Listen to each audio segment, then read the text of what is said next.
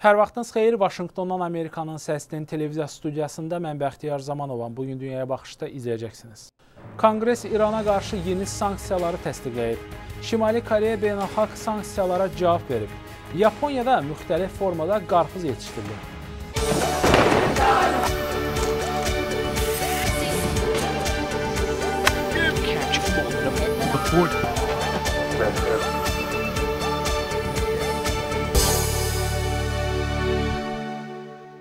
ABŞ-ın Nümayəndələr Palatasının aparıcı üzvləri Konqresin İrana qarşı yeni sanksiyalar tətbiq etmələrini həmrəyliklə təsdiqləyib.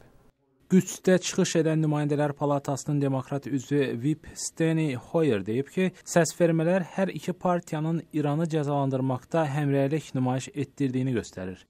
235, 36 respublikaçı və 193 və ya 92 demokrat raketlər insan haqları və terrorizmi dəstəklədiyinə görə İrana qarşı sanksiyaların tətbiqinə səs verib. Ona görə də mən deyərdim ki, hər iki partiya bu məsələdə tam həmrəydir, deyə Vip Steny Hoyer bildirib. Nümayəndələr Palatasının Respublikaçı nümayəndələrinin lideri Kevin McCarthy və Demokrat Hoyer Nümayəndələr Palatasının yeni seçilmiş 53 üzvü ilə İsrailə səfər edib. Konqres tərəfindən qəbul edilib. Daha sonra isə prezident Tramp tərəfindən imzalanan ABŞ qanunvericiliyi İranın ballistik raket proqramında iştirak edən və onlarla əməkdaşlıq edən hər bir kəsə qarşı cəza tətbiq etmək haqqdadır. Şimali Koreya beynəlxalq ictimaiyyətin hərbi fəaliyyətlərə son qoymasına dair çağırışlara əhəmiyyət vermədən nüvə silahı proqramlarının inkişaf etdirəcəyini bildirib.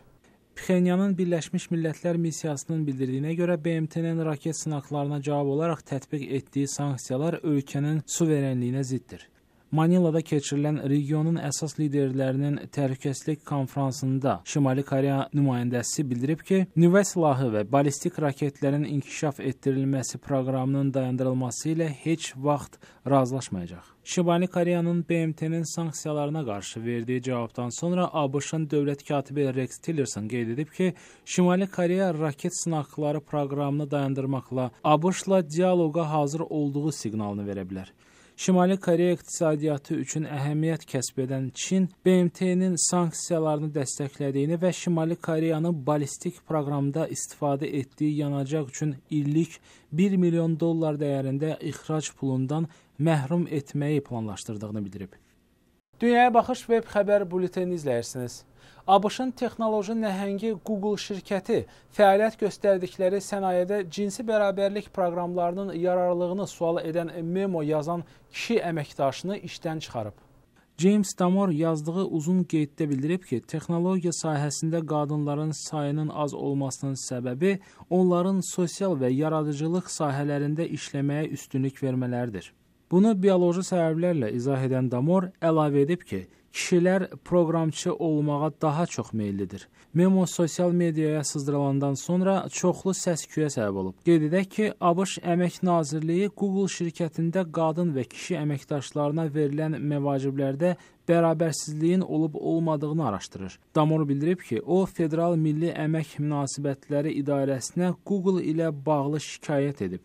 Belə ki, onun dediyinə görə şirkət onu işdən çıxarandan sonra ictimai şəkildə utandıraraq susturulmasına nail olmaq istəyir.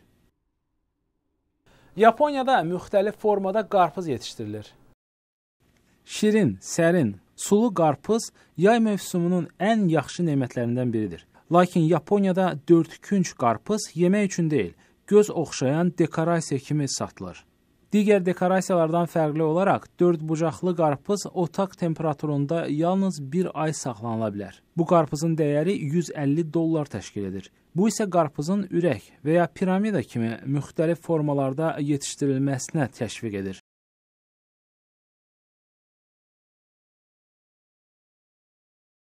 Mühüm xəbər və reportajlarımızı, habelə bloqlarımızı Amerikanın Səsinin veb səhifəsində izləyə bilərsiniz.